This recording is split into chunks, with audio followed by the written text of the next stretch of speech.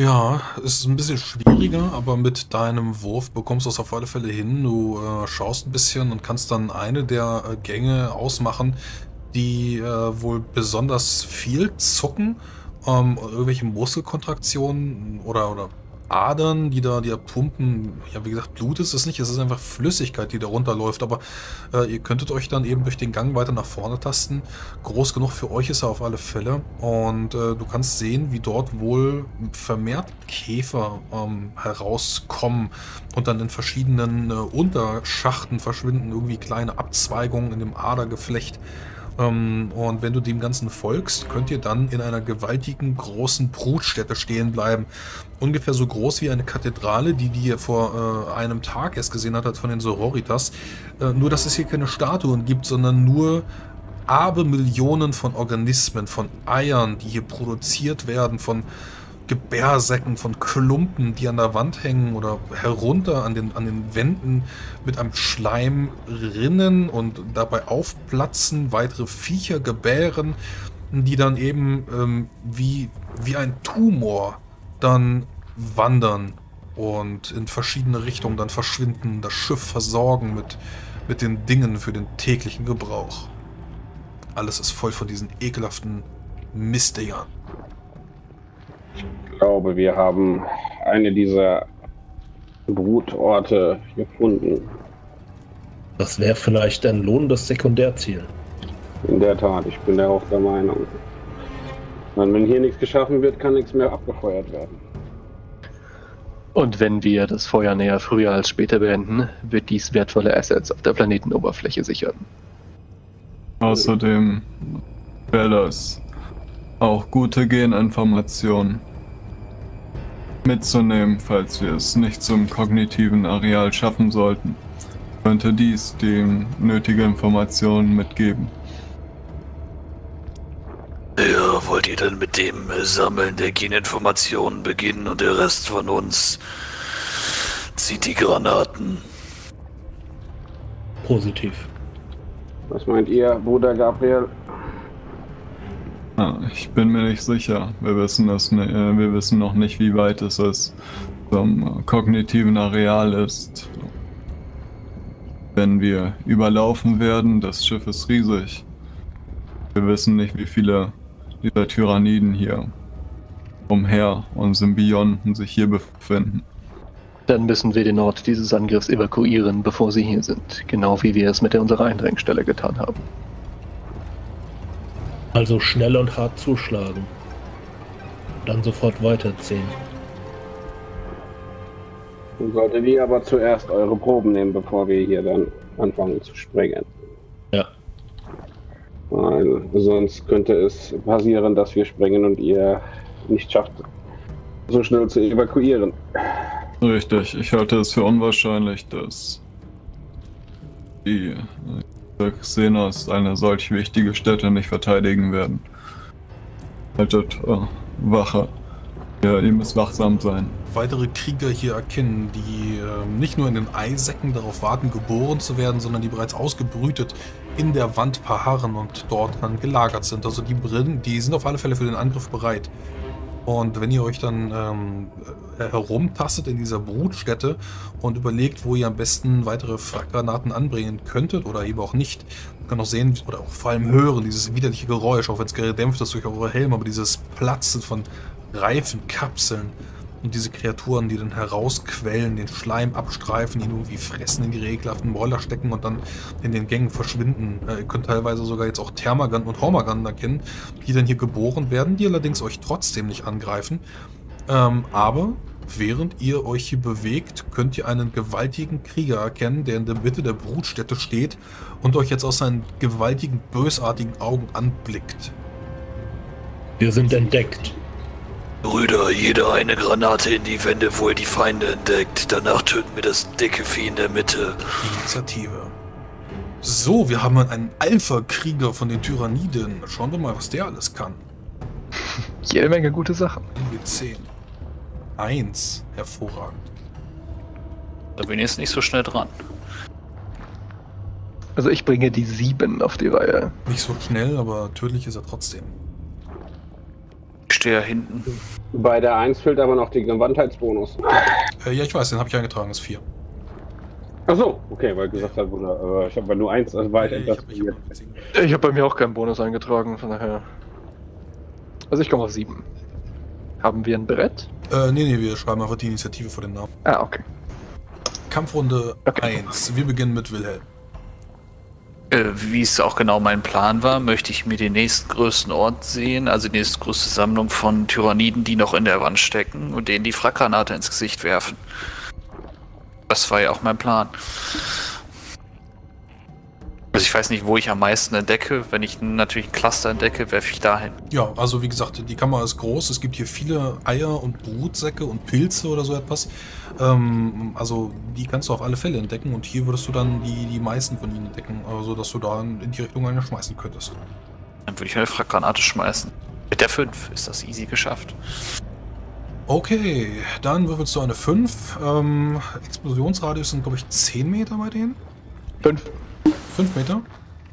Dann kannst du im Prinzip, ich glaube, der Raum ist äh, leider nicht so groß. Ja, die Entfernung von denen sind 20 Meter. Ist wie gesagt äh, ähnlich groß wie eine Kathedrale. Aber du kannst auf alle Fälle dann den ersten Tyranidenkrieger dann dort beschmeißen. Und der Schaden von denen? Ich bin genauso überfragt. Das sind 2 W10 glatt. 2 W10 DS? 0. 2 schmeißt dann eine Granate, sie äh, bleibt wohl in einem der Eier stecken und du weißt nicht genau, ob der Zündmechanismus klemmt oder ob der Ei das Ganze absorbiert. Zumindest siehst du, wie ein Sekret oder Schleim drüber läuft, irgendwas britzelt und du, du merkst wohl, wie die Substanz der, der Frackgranate aufgelöstet wird durch, diesen, durch diese Säure oder was auch immer und dann äh, kannst du hören, wie neben dir Octavius äh, wach wird. Diese Kriege in den Wänden, den rechts von mir, den da, ähm, Ja. kann ich den schon sehen? Ja, Ja. die sitzen noch in den Wänden, die kommen dann gleich raus. Dann möchte ich eine Salve auf den abfeuern. Gleich trifft da. Ja, 27, sieht gut aus. Ich glaube, da treffen alle vier. Ja, alle vier. So, Lebenspunkte. Habe ich viele. Und meine Rüstung ist 8 Ähm, zieh eine Eins ab. plus den Widerstand. Du darfst noch eine 10 würfeln, äh, denn du schießt mit Höllenfeuermunition und da steht, äh, zählt auch eine 9 als eine 10. Stimmt, richtig. Das ist Oh, stimmt, ja. Zorn des Imperators, der auch bei der 9 äh, explodiert. Das ist ganz Oh. Außerdem wird natürliche Rüstung, die sie haben, ignoriert. Die Chitin, der Chitinpanzer. Der Widerstand nicht. Nee, den nicht, aber es geht um die Rüstungspunkte. Genau, okay. Ja. Dann, zieh ich, dann habe ich nur noch 10. Was immer noch echt, echt viel ist. Ja, das sind die Krieger. Ja, dann ähm, bespickst du die Kreatur ähm, mit deinen Bolterschüssen. Die Wand platzt auf und äh, die Höllenfeuermunition ergießt sich als Säure in das Gesicht des Kriegers, äh, verätzt ihm auf alle Fälle eins der bösartigen Augen. Du siehst nur, wie eine Zangenkralle abfällt und ähm, er muss sich da irgendwie mit seinen Neuralfressern rausbrennen. Ähm, spuckt so ein bisschen Säure in deine Richtung und, und versucht sich dann eben rauszuwinden. Aber du siehst auch, wie ein Bein nachgibt und er dann irgendwie schwach, ähm, bösartig funkelnd auf euch zuhinkt. Dann nach Octavius ist Tordal. Nun, ich äh, die natürlich dann ins gleiche Ziel wie Bruder Octavius, weil ich erkenne den ja bereits äh, dann als schon geschwächt an. Aber jeder Gegner, der schon mal fällt, ist schon mal gut für uns. Und äh, bringe dann mit dem Sprungmodul direkt in die Richtung. Ja, es ist äh, direkt neben dir. Schauen wir mal nach. Es sind 13 Meter, 14 Meter, die du dann auf die Wand zuspringst. Die, der Raum ist auf alle Fälle groß genug. Musst ein bisschen aufpassen, dass du mit deinem Sprungmodul äh, nicht in der ekelhaften Schleim äh, von oben hängen bleibst. Äh, aber du zündest, 38 habe ich das locker. zündest äh, springst dann Wow. hin, landest direkt vor ihm, wie er sich rausschält. Äh, Genau. ist wie gesagt schwer auf den, auf den Beinen und dann zuckt Dann Kettenklick nach vorne. mit 70, mit dem Sturmangriff schaffe ich das sogar noch. Hat aber eine Reaktion, auch wenn er angegriffen ist. 72, das sieht nicht gut aus.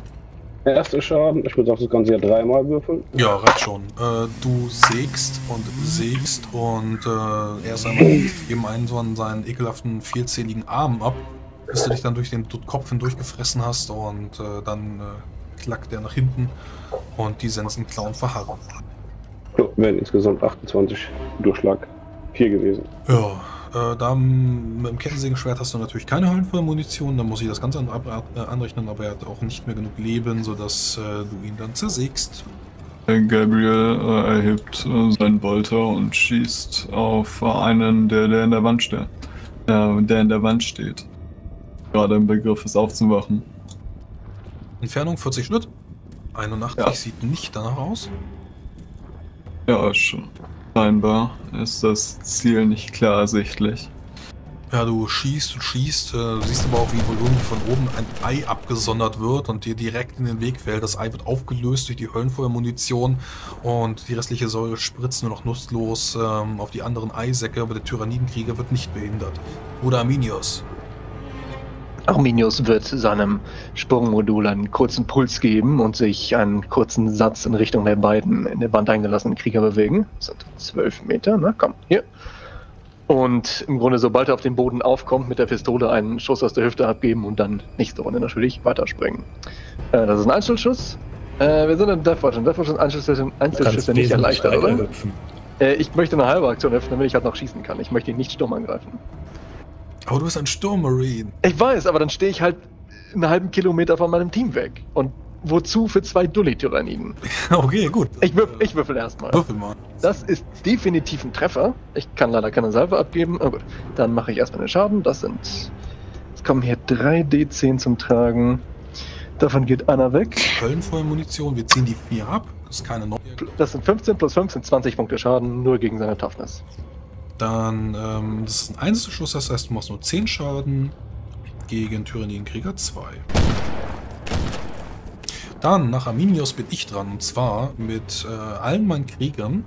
Ich muss gerade mal schauen, die machen einen Sturmangriff. Wie schnell können die sich bewegen? 36? Im Sturmangriff ist ein bisschen viel, 36. Was ist ihre, äh, ihre Base-Movement? Das schaffe ich aber leider nicht. Ähm, 36 ist das, was sie als höchste Bewegung haben. Also als Rennen. Genau, 6, 12, 18, 36. Ja, dann ist 18 ihre Sturmangriffsreichweite. Ja. Ja. Dann bewegen sie sich äh, voll auf dich zu und sind das nächste Mal dran. Es ist ja fast so, als hätte ich das geplant. Aber der Alpha kann sich auch bewegen und Aber der Bruder hier, der ähm, Krieger vor Bruder Tordal ist tot, ne? ähm, jetzt ja, Connect. Äh, Habe ich noch nicht auf Tod gesetzt. Dann werden wir ihn mal auf Tod setzen. Der äh, fehlt dem Kopf, genau. Aber der Alpha-Krieger bewegt sich auf euch zu. Er ist auch als solcher zu erkennen. Er ist äh, wesentlich größer als die normalen Krieger, die ihr schon kennt. Und äh, habt ihr so in freier Natur auf den, den zahlreichen Planeten noch nicht äh, erkannt. Der ist also höchstwahrscheinlich dafür da, dass er den Genotypus der Schwarmflotte beschützt. Die Wichtigkeit dieser Kammer wird alleine durch den Alpha-Krieger gewahr. Dann habe ich mich nur bewegt. Ähm, ich muss gerade mal schauen. Kann ich noch irgendwie mit Fernkampfwaffen schießen, wenn ich, äh, wenn ich gestorben bin? Also wenn ich gelaufen bin? Nee, Nein, nee, du nee. kannst dich eine halbe Aktion bewegen und danach schießen. Ja, ich gucke gerade mal, was die für Fernkampfwaffen haben, ob sich das überhaupt lohnt. Also bei den Kriegern gibt es zwei Varianten. Einmal welche, die haben vier Arme, in jeder Hand so eine Klaue. Und ein, Der Einkrieger werde ich nur die Hälfte weitersetzen und dann mache ich einen Angriff. Ähm, er hat neben Sensenklauen und Zangenkrallen haben sie Neuralfresser auf 30 Schritt. Und dann werde ich den einfach mal ausprobieren. Die schießen auch mit lebender Munition. Ich habe sonst noch die Säurespucker. Ähm, ich nehme aber den Neuralfresser. Dann würfel ich einmal einen BF. Eins. Schießt du auf mich? Ich schieße auf dich. Okay. Dann muss ich dem doch ganz gerne ausweichen. Dies gelingt mir nicht. Ähm, du äh, ein W10 plus 6. ah, es geht ja noch. Äh, Das sind. Das heißt, ich darf noch einen weiteren W10 hinterher würfeln. Und ich nehme du nimmst. Ja, Das sind dann 12 DS0. das geht nicht durch. Also es geht, es geht irgendwie mit vier Punkten, glaube ich, durch die Rüstung, aber das bleibt dann im Widerstand hängen. Ja, ich wollte es trotzdem einfach mal gemacht haben. Das heißt, er hebt eine von seinen ekelhaften äh, Armen, vier Stück hat er, zwei zum Sicheln und Krallen und äh, zwei weitere, die dann in deine Richtung gehoben werden und aus denen sich dann äh, dieses Magazin äh, in Form der mh, kleinen Biokäfer auf dich ergießt, die dann auf deiner lebenden, die dann auf deiner Rüstung ähm, anhaften, versuchen zu fressen, auf dem Keramid verhungern und dann abfallen, tot und verhungert. Nächste Kampfrunde, Willem. Ja, ich äh, möchte jetzt mal schießen. Scheiß auf Frackgranaten. Ähm, auf die kann ich nicht schießen, ohne auf meinen Verbündeten zu schießen, korrekt? Du kannst mit einer 20er Erschwernis schießen. Frage ist, willst du Du das? kannst auch auf ihn schießen. Der ist ja nicht im Nahkampf, der ist ja nur angelaufen. Ja, dann schieße ich Ja, einfach mal auf den schieß doch. Dicken. Schieß doch den anderen Tyrannidenkrieger weg, damit wir von der Seite Ruhe haben. Der hier ist tot. Achso, das meinst du den? Ich meine den. Aber da schieße ich auch mitten durch dich durch. Das ist egal. Geh halt einen Schritt. Achso, okay, warte mal. Ja, machst du freie Aktion, bewegst dich zwei, drei Schritt und schießt dann, ohne dass dein Bruder dir im Sichtfeld steht. Schießen wir ja mal. Ja, nein. Du schießt und rotzt deine Munition in ihn, triffst selbstverständlich die ganzen Eier, die neben ihm hängen, aber den Krieger nicht. Er weicht dir bösartig aus. Octavius. Ähm, ist Bruder Arminius jetzt schon im Nahkampf mit dem Krieger, der direkt vor ihm steht? Nach meinem Verständnis ja, der ist ja hergelaufen. Ja, der ist rangelaufen, hat aber selber keine Aktion. Ja, also dann kriege ich ja einen Manus drauf. Das da habe ich eigentlich auch keine Lust drauf. Genug Ziele hier. Ja gut, dann schieße ich auf den weiter entfernten Krieger. Meine, ich bin ein großer Junge, ich kann das handeln. 43 Meter, das dürfte kein Problem sein. Auch wieder vollautomatisch. Flügel schneide ich dir auch noch ab. Ja, da treffen wir auch wieder alle. Ich habe eine Reaktion. Ich würde auf alle Fälle versuchen auszuweichen. 72 nicht geschafft. Dann darfst du feuern. Ähm, eine 1 ist weg und wegen der 9 darf ich genau, Zorn des Imperators. wieder eine Hm. 2. Also 19, das sind 9 Schaden und das mal 4. 9 mal 4 sind wieder 36. Dann schießt auch du ihm wieder 1, 2, 3 Arme ab. Einen weiteren hat er noch. Und äh, stürmt weiter auf äh, den Blood Angel zu. Kann man eigentlich in einer freien Aktion immer was sagen oder nur wenn man dran ist? Ja, ja, freie Aktion kannst du auch sprechen. Predigen ist eine freie Aktion. Ja, dann Tordal, äh, behalt den äh, Krieger im Auge. Er, hat, äh, er wird sich auf uns übergeben. Halte unsere rechte Flanke. Oh, dann ist das mehr oder weniger eine Aufforderung, dass ich mir den Vieh stellen soll. Der Befehl zum Sterben. Bongmolul zünden. Ja, das ist für mich kein Problem, da hinzufliegen. Ich wollte jetzt eigentlich erst mal rechts helfen. Ja. Das geht dann genauso gut aus wie das letzte Mal. Ich sehe das schon kommen. Ja, ja, immerhin hast du viel Schaden gemacht an dem. Ja, und danach war ich Spaß. Du kannst ja auch mal was ähm, Sinnvolles, taktisch Sinnvolles machen, indem du nur ein paar Schritt hingehst und so eine defensive Stellung einnimmst. Dann kannst du zweimal parieren. Ja, ich mache tatsächlich was anderes. Ist das hier so eine, wo ich äh, jetzt hinziehen würde, ist das eher so eine höhere, ähm, so eine Art Deckung? Ähm, also hier geht auf alle Fälle die Wand nach oben und, und ähm, da, da hängt dann irgendwelche, irgendwelche ja, Brutmaterie herum. Und hier würdest du dann wieder auf ebenem Grund stehen, wenn es so etwas wie ebener Grund gibt. Also sowas für eine Art Deckung, also eine halbe Deckung. Deckung, ja, würde Ja, dann würde ich tatsächlich dahin gehen. würde ich dir drei Rüstung für geben. Ja, und äh, per Schnellziehen feuere ich dann Höllfeuer auf das Monster. Gut, dann nimmst du deine Boltpistole. Das sind Na, dann äh, Gabriel könnte noch schießen. Ich werde dir trotzdem.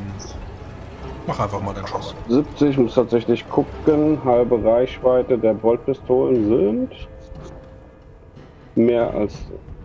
Äh, Moment, mal gucken. Ah, tatsächlich treffe ich nicht.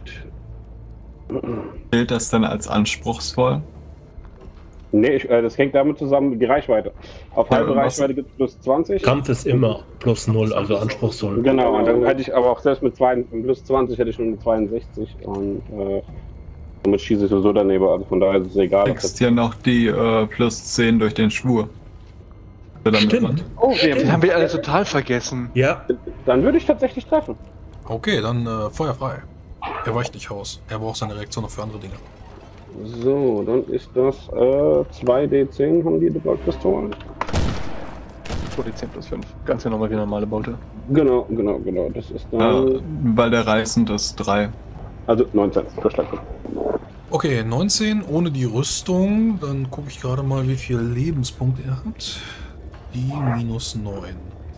Dann äh, schießt du, ähm, der, die Höllenfeuermunition brennt sich durch seine Schildplatten und er stürmt, ohne dass es ihn interessiert, weiter auf dich zu. Mhm. Äh, Augenblick. Ich äh, werde ebenfalls das Feuer öffnen, äh, unsere linke Flanke äh, säubern, damit unsere, äh, unser Bl Blood Angel schnell dem Ast äh, Alpha-Krieger we- zuwenden kann und äh, werde auf diesen Krieger hier schießen. 68 Sekunde, das könnte tatsächlich noch geschafft sein. Ja, das ist um äh, vier Punkte geschafft, also kein Erfolgsgrad und äh, ein Schuss würde treffen. Ja, ich glaube, mit dem darf ich noch ausweichen. Mit. Nee, du hast es schon, du hast es schon versucht, mit ihm auszuweichen, hast es nicht geschafft. Als ich geschossen habe, ja. Ja, okay. Also vielleicht hat er zwei Reaktionen, das weiß ich nicht. Nee, hat er nicht. Ja, okay, dann macht den Schaden. Das ist die Kreatur Nummer 2. Der Angeschlagene, ne? Ja, der. Ja. Genau, 19. Okay, dann äh, schießt du seine deine Höllenfeuermunition in ihn ab, ähm, brennst dich in seinen Bauch hinein und du siehst, wie tropfend irgendetwas von ihm abfällt. Arminius. Und eine Stimme mit ausgebeutetem Namen da und ruft dem Vieh, komm schon zu, als es auf ihn zurennt. Und dann im richtigen Moment holt er mit seiner Faust aus und versucht zumindest, wir werden sehen, wie es klappt, den Krieger zu schlagen. Mit einer Energiefaust. 30. Dies ist ein Treffer. Ich mache natürlich, da ich Swift Attack habe, ähm, mehrere Attacken, Ja, er aber sonst nichts Besseres zu tun. Er ist ausgewichen. Äh, Moment. Ähm, hier kommen etliche Boni drauf, die rechnen wir durch, wenn es nötig wird. Wird es nicht. Das ist vermutlich ein Treffer. Äh, das ist jetzt der zweite Angriff, ja? Ja, genau. Ich kann zwei Angriffe machen in einer vollen Aktion. Dann Schadenspunkte. Er kann kein zweites Mal ausweichen. Dein Erfolgsgrade kommt ja auf die Schadensmittel mit drauf. Nicht ganz richtig. Ich darf einen Würfel durch meine Erfolgsgrade ersetzen, wenn die Erfolgsgrade höher sind als der Würfel. Das gilt Ach. im Übrigen für euch alle. Ähm, ist es aber nicht. Damit sind das, 10. Wie krank ist das denn? damit sind das 30 Punkte mit der Energiefaust. Äh, Pen ist, Pen ist 9. 9. Ähm, du hast ja die normale Rüstung wird angerechnet, weil ähm, das keine Höllenfeuermunition ist. Die haben normalerweise etwas von 18. Äh, die Penis war 9, hast du gesagt. Mhm. Gut, dann äh, 10 ziehe ich ab, sind 20 Schaden an dem. Äh, der hat 10, ja, dann sind es 30. Ähm, und du schlägst ihm zwei seiner Arme ab. Dann bin ich dran. Ich werde mich bewegen. Und zwar, ich schaue gerade mal. Ich gucke gerade mal, wie weit die sich bewegen können. Mit einer halben Aktion. Dann mache ich hier 12. Dann mache ich hier. Ähm. Kann ich 32? Ich glaube ja, ne? Deine 3. Dann gehe ich hier in den Nahkampf und dann würfel ich einmal mit diesem Krieger gegen dich. Wir sind im Nahkampf, das bedeutet, ich benutze meinen meine Zangenkrallen. Die, die du noch hast, nicht wahr? Sensenklauer, genau. Ein W100, 16, das wäre getroffen. Den möchte ich gerne. Nee, äh, warte, du bist fast 36 äh, gesprungen, das heißt, du kannst nicht mehr angreifen. Das war Doch, der andere. Mit, mit dem anderen jetzt bei Arminius. Achso, Entschuldigung. Außerdem, egal. Ich weiche dem galant aus. Okay, dann habe ich einen zweiten Angriff. Dann 49 habe ich auch geschafft. Gib mir. Ja, sind 1 W10 plus 14, sind 21 DS3. Ähm, da kriege ich auf jeden Fall was. Ich brauche eine Zone. Ähm, die Zone ist 94. Genau, das Arme klingt der wie toll. Bein. Okay, das sind also 8 Rüstung. Dann habe ich da noch 8 Widerstand gegen. 16, komm mal so 5 durch. Das tut weh. Gut, und dann habe ich noch ähm, meinen Alpha-Krieger, der wird mit seinem Säurespucker antworten. Und der schießt auf Bordal. 45, das ist äh, bei dem Alpha-Krieger gelungen. Wobei deine, Rüst, de, deine Rüstung ist ja, wenn du dahinter stehst, ähm, ist das einfach nur zusätzlicher Rüstungsschutz, den du bekommst, ne? Mhm. Ja, okay. Genau. Dann gucke ich doch einfach mal, ob ich ausweichen kann. Mit 38 geschafft. Okay, dann kann ich ein weiteres Mal schießen, weil ich mich nur eine halbe Aktion bewegt habe. Und das ist nicht geschafft. Dann merkst du, wie sich die Säure von ihm ähm, hereinbrennt in die Schutzvorrichtung, in der du dich gerade verschanzt, dass du springst dahinter weg. Und siehst dann eben auch, wie die sich auflöst. Er hat auf alle Fälle ein paar Eier mitgebrutzelt. Ähm, deine Rüstung wäre an der Stelle aber auch weg, beziehungsweise die Deckung wäre an der Stelle weg. Dann nächste Kampfrunde Wilhelm. Wilhelm ist jetzt auch im Nahkampf. Ähm, ja, ich muss jetzt ja im Nahkampf kämpfen, weil ich kann ja nicht mehr schießen. Das habe ich mir erst letztes Mal richtig notiert, richtig? Du kannst dich aus dem Nahkampf lösen. Ja, aber das ist auch eine volle Aktion. Oder du gehst halt aus dem Nahkampf raus und kassierst halt einen Hieb. Und von dem. Das willst du nicht, glaub mir. Warte, wer steht denn neben mir? Ja, das will ich ja auch nicht. Ja, dann muss ich jetzt versuchen, den zu stechen. Da habe ich jetzt leider keine Wahl. Du Und kannst einen vorsichtigen Angriff machen, denn äh, du schadest dem ja sowieso nicht und kriegst dafür plus 10 aufs Ausweichen. Ich habe jetzt schon angegriffen, das klappt aber nicht. Dann habe ich auch wieder eine Reaktion, ne? Ja, es klappt ja eh nicht. Klappt eh nicht, hast du recht. Äh, sicher, äh, denk an die plus 10. Wegen dem Ja, es klappt trotzdem nicht. Okay. Dann ist Octavius dran. Also ich denke, am sinnvollsten wäre es hier diesen äh, angeschlagenen Krieger, der mitten unter uns steht, wegzumachen. Ähm, ich mache einen Einzelschuss gezielt, so dass ich keinen von meinen Brüdern treffe und versuche den zu killen. Dann schießt du den von deinem Devastator-Bruder mit einem Einzelschuss ab. Ja, gerade so. Mhm.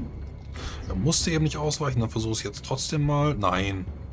Ist er wohl weiter gebunden, kämpft er mit dem Messer, das äh, Bruder Wilhelm gezogen hat. Ähm, das wären 26. 26 mit der Bolt Höllenfeuermunition. Ja. Dann ist er tot. Zustand. Dann schießt du mit deiner Höllenfeuermunition ihm den Schädel weg. Und nach Darius ist Dora. Ja, ich gebe jetzt eine Goldpistolen-Salve auf den Krieger, der auf mich zukommt. Und schau mal, was daraus passiert. Mit 32 treffe ich sogar. Ja, ich versuche auszuweichen. 42, auch gelungen. Das ist aber eine Salve, ne? Da war ich nicht Mhm. Außer es ist wichtig, wie viele Erfolgsgrade ich habe. Ja, ja, ja, ja. Ähm, äh, gar kein Erfolgsgrad. Also einer Salve bin ich ausgewichen, dann sind es noch drei Schaden, ne? So drei. Es kommt darauf an, wie viel halt Fabi getroffen hat, ne? Mit Ich bin gerade am 32. Rechnen. Ich bin gerade am Rechnen. Was? Bei Salve zählt nur alle 20 Punkte. Genau, ich habe mit 72 gewürfelt, das heißt 2. Gut, kannst du, also zwei machst du, einem weiche ich aus, dann hast du noch einmal den Schaden. Genau, also erstmal.